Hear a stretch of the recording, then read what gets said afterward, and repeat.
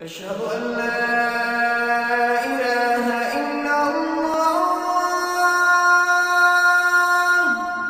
The other day, I got a beautiful message on my phone. I need to share it with you.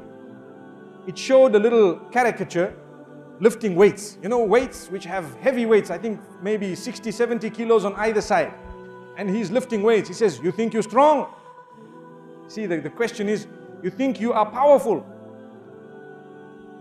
Obviously, this is because the young people of today, they want to have big muscles, you know, and they want to be show, seen and they want to be felt. When they greet you, you just got to say, Wa alaikum assalam, you know. Because you cannot look at them anymore in the way that we used to in the past. No, big man, you got to look at him carefully. So it says, if you think you're very strong, you, you can lift. Lift your blanket for Salatul Fajr, then you will be strong. Allahu Akbar. Allahu Akbar. You are strong, you want to lift, lift your blanket at Salatul Fajr. That is the heavyweight title. Allahu Akbar. Brothers and sisters, I thought it was a very good message. Because today, the message of the deen needs to be put forth to our children and ourselves in a way that we look at it and we really think, Wallahi, it is correct.